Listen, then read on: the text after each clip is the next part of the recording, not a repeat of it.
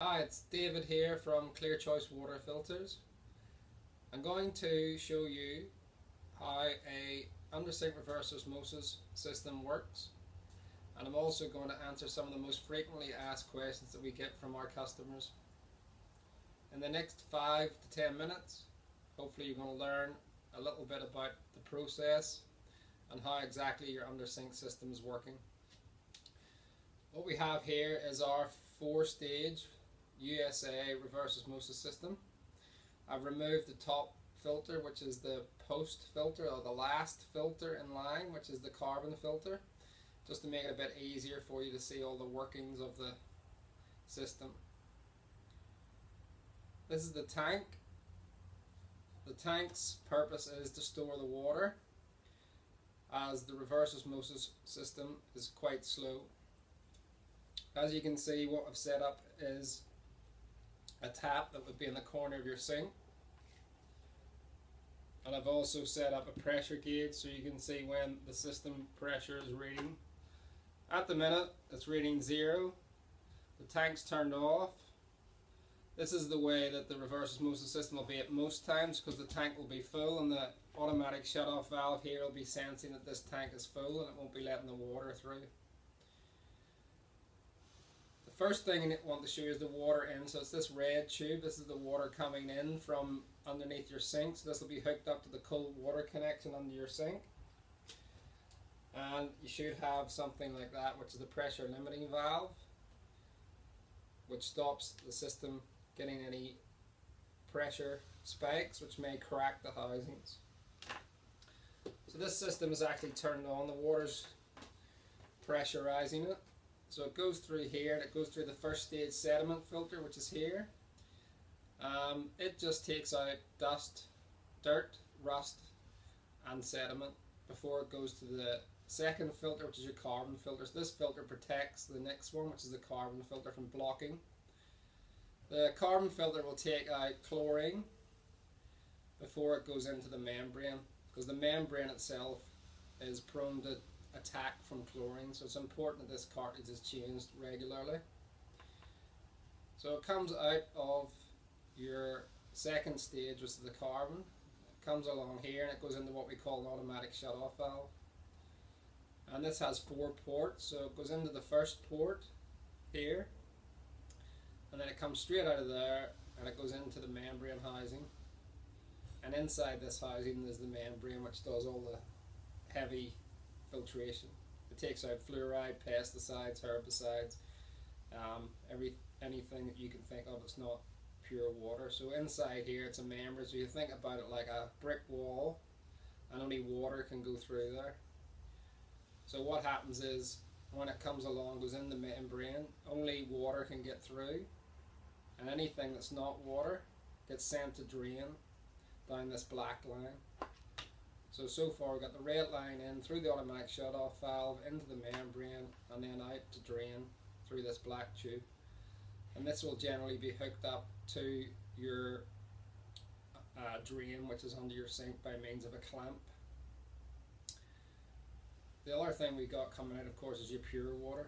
So it comes out through this port and it goes through a non-return valve. Sometimes a non-return valve can be built into the actual elbow here. In this case this is a external, you can see the non-return valve. So all that does is it stops the water backflowing into the membrane. This non-return valve doesn't work, you're going to have problems with your system. Same as the automatic shut-off valve. So these two things are very important to make your system work properly. This white tube then comes out. It's the last part of the system coming out of the automatic shut-off valve and it goes directly to the reverse osmosis tank. And as you can see, the tank is directly connected to the water filter tap that's on your sink. Okay, now in between here, usually clipped onto the top, there'll be your post-carbon filter. So as it comes out of the tank, it will go through another carbon filter which will make the water sweeter in taste and more palatable before it actually goes into the tap. So to start it up, this pressure gauge sitting at zero. As soon as I open the tank, the tank will begin to fill with water and you can see straight away your pressure gauge has went from zero to about 50 psi and that is very important part of the system also. If your pressure is low because the filters are blocking up the water will just keep running to the drain down the black tube here. Okay now as you can see the black tube's running because the tank's filling up. As soon as I turn the tank off the automatic shut off valve has a piston in here and it knows then not to make water anymore, not to produce water and fill the tank, so it will shut itself off, and the piston will shut down, it will stop the water going through, and the whole process comes to a halt. So you'll see now, pressure gauge is at zero, and the drain has stopped.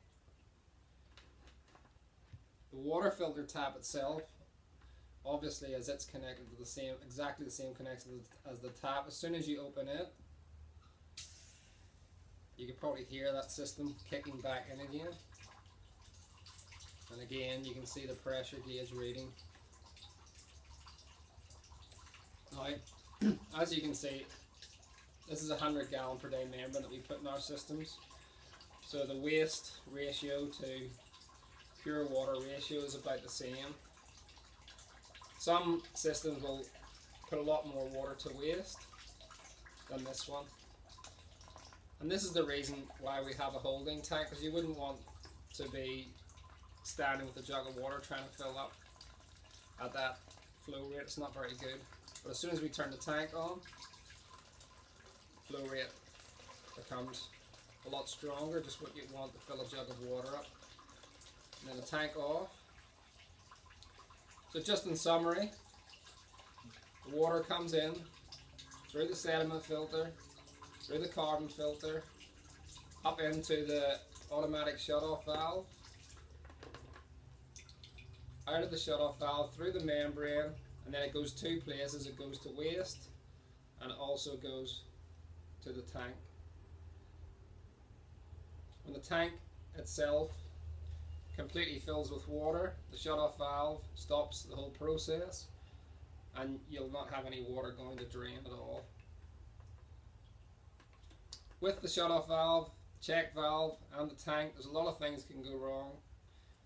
To make it easy for you, we have a troubleshooting guide at our website, clearchoicewaterfilters.com.au or you can send us an email or if you're in Australia, call us 1300 001 752 and someone will be glad to help you if any problems that you may have with your reverse osmosis systems.